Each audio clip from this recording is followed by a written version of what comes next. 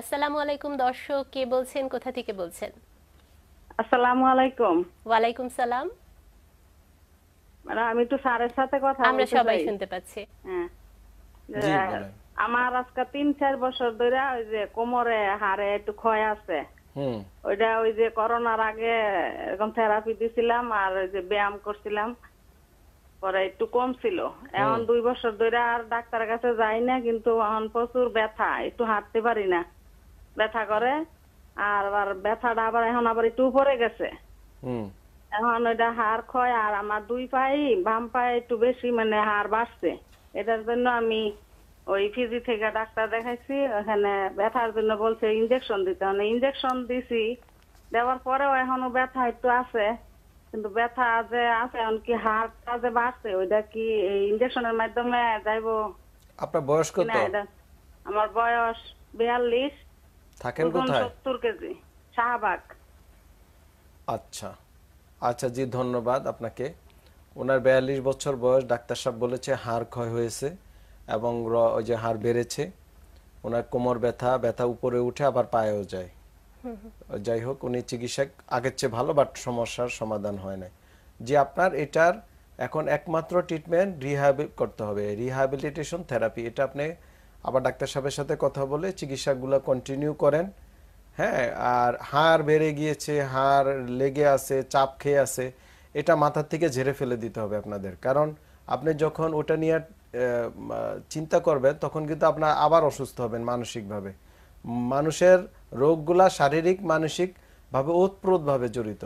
ওটা আপনি মাথা থেকে ঝেড়ে ফেলে দেন। আপনার শরীর ব্যথা নাই, আপনি হাঁটতে পারেন, কাজ করতে পারেন, সুস্থ। এটাই আপনি আলহামদুলিল্লাহ বলেন, যে এতই ভালো থাকার চেষ্টা করেন। ও, ওইটা চিন্তা আমাদের, ডাক্তারদের, যে আপনার বা- বেড়েছে বা ক্ষয় হয়েছে বা কিছু। ডাক্তার সব বুঝিয়েছে, সেটা ঠিক আছে, কিন্তু ওটা ঝেড়ে ফেলে দেন। আপনি এখন থেকে নিয়মিত রিহ্যাবিলিটেশন থেরাপি চিকিৎসা নেন, সঠিক জায়গায় ডাক্তারের তত্ত্বাবধানে, তাহলে আপনার এটা ইনশাল্লাহ ইমপ্রুভ হবে। আর ক্ষয় বয়স বাড়ার সাথে সাথে অনেকের এমনিতি হতে পারে। এর জন্য আমরা বিভিন্ন মিনারেল টেস্ট করে দেখি ভিটামিনগুলো টেস্ট করে দেখি, প্রয়োজনে ওগুলো, ওই জাতীয় সাপ্লিমেন্টগুলা যেটা লেকিংস থাকে ওটা খেতে হবে বা বাজার থেকে বিভিন্ন প্রকার ক্ষয় কমানোর জন্য, বন্ধ করার জন্য আমরা বিভিন্ন সাপ্লিমেন্ট দিয়ে থাকি। বিভিন্ন এক্সারসাইজ আছে, খাবারের বিভিন্ন ধরন আছে, এক এক রুগীর এক এক খাবারে অনেক উপকার আসে। তো ওইভাবে আপনার হয়তো ডাক্তারদের পরামর্শে এটা করতে হবে। আমরা একজন দর্শকের প্রশ্নের উত্তরে বলছিলাম যে আমাদের কাজের ধরনটা পাল্টাতে হবে বা বুঝতে হবে বা হাউসহোল্ড কাজ করতে গিয়ে অনেক সময় কাপড় ধুতে হয়। কাপড় ধোয়ার বিষয়টি নিয়ে কথা বলব যে অনেকে টুল ব্যবহার করে টুলে বসে কাপড় ধোয়। এটা কতটা ঠিক? তার আগে আমি একজন দর্শকের প্রশ্ন নিয়েছি আচ্ছা। হ্যালো আসসালামু আলাইকুম দর্শক কে বলছেন? কোথা থেকে বলছেন? ওয়ালাইকুম আসসালাম। জি দর্শক আমরা সবাই শুনতে পাচ্ছি। হ্যাঁ ভালো আছেন আপনারা? জি। জি আলহামদুলিল্লাহ। আপনি একটু জোরে বলেন শোনা যাচ্ছে না। হ্যাঁ, আমার একটা সমস্যা। এটা হলো আমার হাঁটুর নিচ হাঁটু থেকে নিচে ব্যথা। আমি দীর্ঘদিন আপনার ওই যে সুয়েটার কোম্পানি যেটা আর কি মিটিং সেকশনে কাজ করছিলাম প্রায় দশ বছর যাবত ওখানে দাঁড়িয়ে থাকিয়ে আর কি কাজ করতে হয়। দশ বছর কাজ করার পরে এখন ইদানিং আমার হাঁটুতে মানে সমস্যা আহ, হয়। মানে বেশিক্ষণ হাঁটলে মানে হাঁটু লেগে যায় পা ঝিনঝিনায়। আবার মনে করেন বেশি বসে থাকলেও আবার পা একটু অবশ অবশ মনে হয়। এটার এটার এখন কি করেন আপনি? আপনার কাজ কি এখন? এখন আমি ব্যবসা করতেছি তবে আচ্ছা। হাঁটা চলাফেরাটা একটু বেশি হয়। মানে আচ্ছা। ডিশ ব্যবসা করতেছি আর কি চাঁদপুর টানাটানি বা পোলে উঠা উঠি। আচ্ছা আহ, এই ধরনের হাঁটা চলাফেরাটা একটু বেশি হয় যার কারণে হাঁটুটা লেগে যায়। আচ্ছা। এর কোনো ওষুধ খাইনি অবশ্য এখন কোন ওষুধ খেলে আর কি উপকার পাবো। ভালো হবে জি জি ধন্যবাদ। ওনার কিন্তু লাইফস্টাইল দুই টাইপের ছিল। একটা হচ্ছে দশ বছর ধরে উনি কিন্তু গার্মেন্টসে জব করেছে দাঁড়িয়ে হয়তো নিটের কাজ করছে সামনে ঝুঁকে ঝুঁকে। তো এই যে এই এই জবগুলা থেকে আমি প্রায়ই ডিস্ক প্রলাপসের রুগী পাই ঘাড়ে এবং কোমরে। এবং এখন কিন্তু জব আবার ওনার লাইফস্টাইল চেঞ্জ এখন উনি দৌড়াদৌড়ির কাজ করে মানে স্ট্যান্ড বাই বা দাঁড়িয়ে থাকে কোনো কাজ করে না।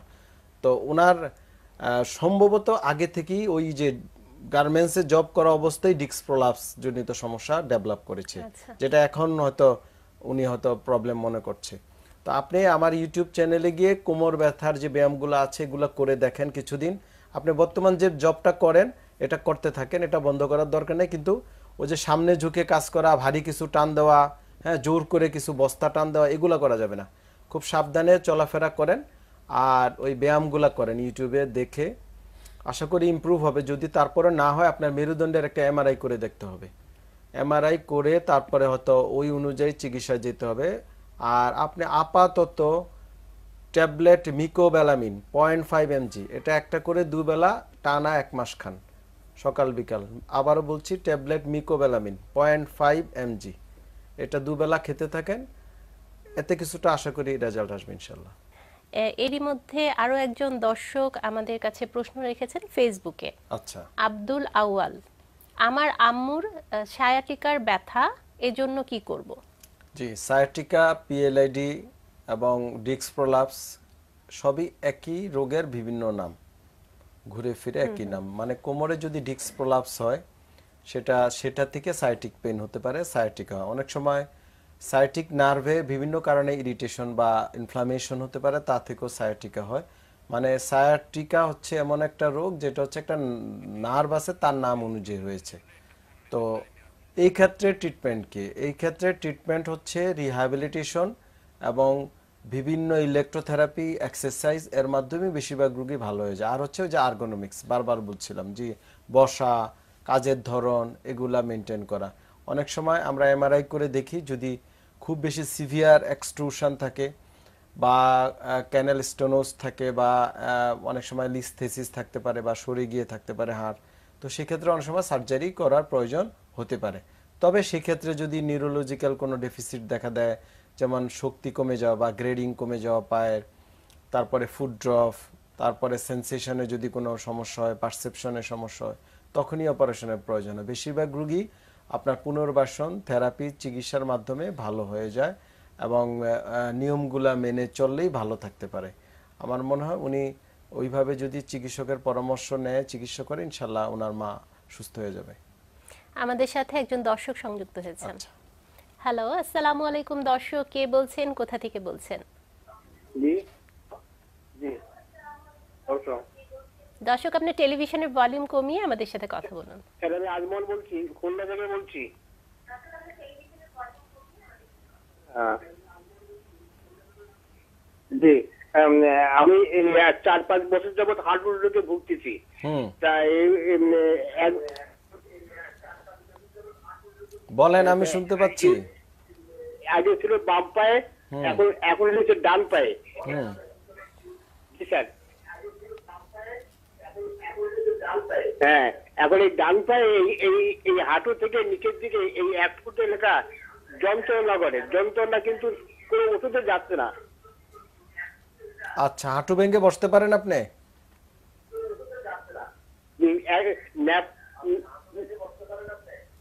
এমনি ঘরের মধ্যে টুকটাক হাঁটতে পারি। কিন্তু রাস্তায় গেলে পরে হাঁটার মোশন আসে না। কোমর ব্যথা আছে আপনার? না স্যার কোমর ব্যথা নাই কোমর ব্যথা নাই কিন্তু এই না স্যার কোমর ব্যথা নাই। তাই স্থানীয় স্যার স্থানীয় এক ডাক্তার স্থানীয় এক ডাক্তার আমাকে রিউমেসিড রিউমেসিড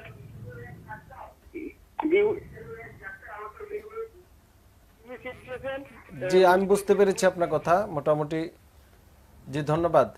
ওনার হাঁটু ব্যথা ওনার পায়ের সম্ভবত পায়েও ব্যথা আছে। হাঁটতে গেলে ব্যথা বেড়ে যায়। তো সাধারণত হাঁটুতে অনেক সময় অস্ট্রিয়াথ্রাইটিস যদি ডেভেলপ করে এটা হয়। এটা কমন একেবারেই। একটু বয়স হলেই পুরুষদের ধরেন ফর্টি ফাইভ বা ফর্টির উপরে গেলে বা ফিফটি ফিফটি ফাইভের উপরে গিয়ে এই সমস্যাটা দেখা দিতে পারে। তো সেক্ষেত্রে হাঁটু ভেঙে বসতে কষ্ট হবে। মানে উঠবস করতে কষ্ট হবে নামাজ পড়তে কষ্ট হবে বা কোনো কারণে হাঁটু ভাঙার দরকার হলে সে বসতে পারবে না। হাঁটতে গেলে সিঁড়ি বাইতে গেলে কষ্ট হবে রুগীর। অনেক সময় এক পায়ে ব্যথা হতে পারে আর এক পা ভালো হতে ভালো থাকতে পারে।